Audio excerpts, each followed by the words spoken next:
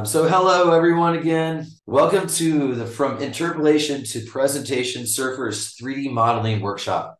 As many of you already know, we've been focusing on bolstering the 3D display and rendering capabilities inside Surfer over the past few versions, where all the new functionality uh, in this new version is designed to save you both time and money, allowing you to complete your 3D modeling requirements without having to use other software packages.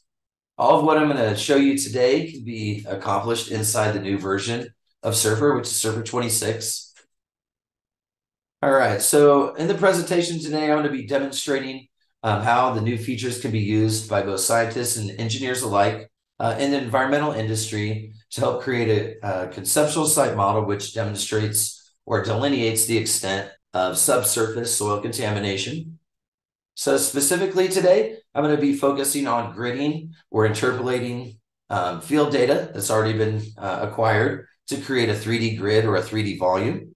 Um, then we're going to transform that 3D grid or volume um, into a grid-based model by visualizing the data um, using uh, volume rendering techniques, adding contours, ISO surfaces, and then finally image slices.